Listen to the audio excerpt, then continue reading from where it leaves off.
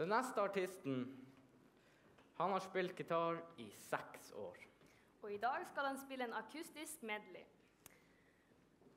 Som han laget to dager før Ukvam i Berlevåg. En kjempeapplaus for han Fredrik Hansen.